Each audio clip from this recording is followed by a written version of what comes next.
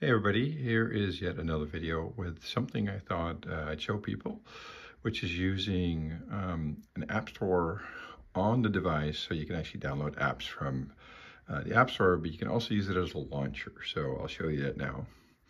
Um, there's an app store called Up to Down. Um, you can go online, go to their app store, create an account, and download the APK.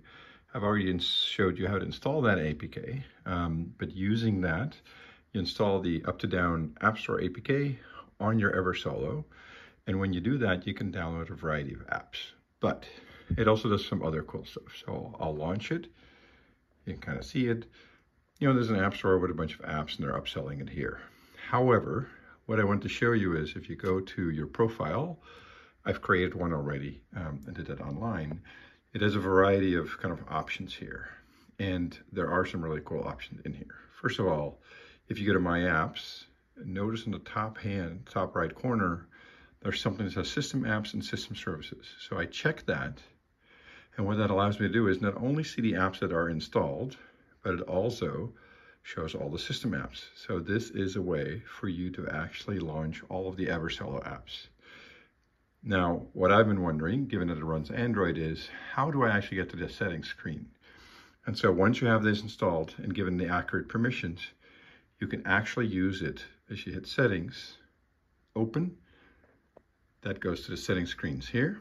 That's the Eversolo settings, but notice below that, there's the Android settings screen. And so now I'm actually looking at the Android settings.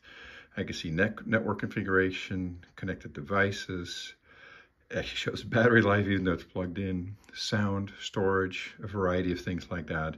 You can see your logged in accounts, everything. This is literally the Android settings screen, and so that's a great way to launch it. Now the other thing that I have is I actually have Chrome installed. However, if you go to my apps, Chrome does not show. I think they actually deliberately hide it or prevent it from showing up in my app screen. Um, however, if I go Uptodown, and go to that profile screen, my apps, it's a way for me to launch Chrome. So I can literally from here hit open and you'll notice that Chrome actually launches. And so that way you can actually see YouTube or whatever it may be that you want to see there. So it's a pretty cool way to do things. Now, the other thing that it shows you is it actually shows you the apps that are installed on the device that I've downloaded, say Apple Music. Um, and then they're offering within their actual app store. And so you can actually upgrade the Apple Music app um, that's available. And so, uh, including downloading a variety of other apps, I try to kind of manage manage what I download. But uh, again, I'll show you if I go to Apple Music, and there's an option here that says app installed details. So um, basically what that means is show me the app that's installed. And so this is 4.6.0. This is the app that you can download through the Eversolo um, app scroll screen or the list of available apps. But what it allows you to do is if you go to the main screen, it says there's actually 4.9.0. So I can actually upgrade the Apple Music app. And I simply hit download.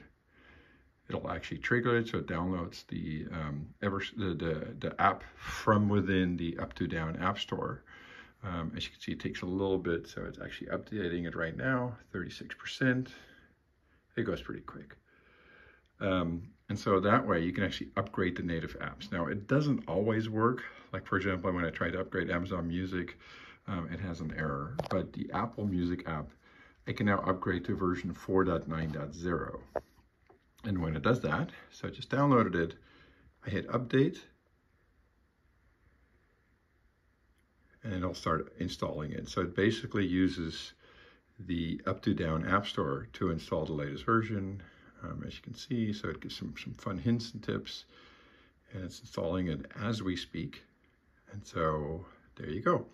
And you notice it goes from download to up below here. And so now when I click it and launch it from here or if I go to apps and launch Apple Music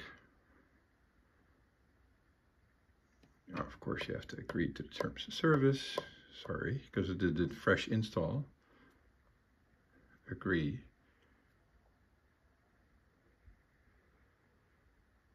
Basically, I'm now running the latest version. So if I go to home screen, hit settings, if you scroll down, you can see I'm now running version 4.9.0 beta and it works fine.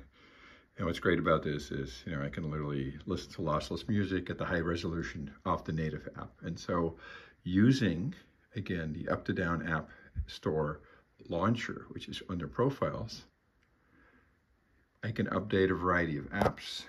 I can download different versions.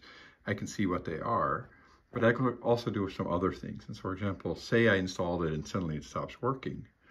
There's a version here that says rollback. And so if I go to rollback, Apple Music, I can see a variety of versions that are available in this app store. And it turns out 460, which is this particular one, was the version that was installed. So I can actually click that and actually revert back to the older version and make sure everything works again. So I thought I'd show you this. Um, kind of a unique way to do that. You can manage updates. One thing I will tell you that, that I actually did is I turned off automatic updates because I don't want this thing to update for me. I want to do it on my own accord and kind of manage it accordingly. So definitely go into settings um, and do that. So hopefully this is helpful and hopefully you enjoy it. Thanks. Bye.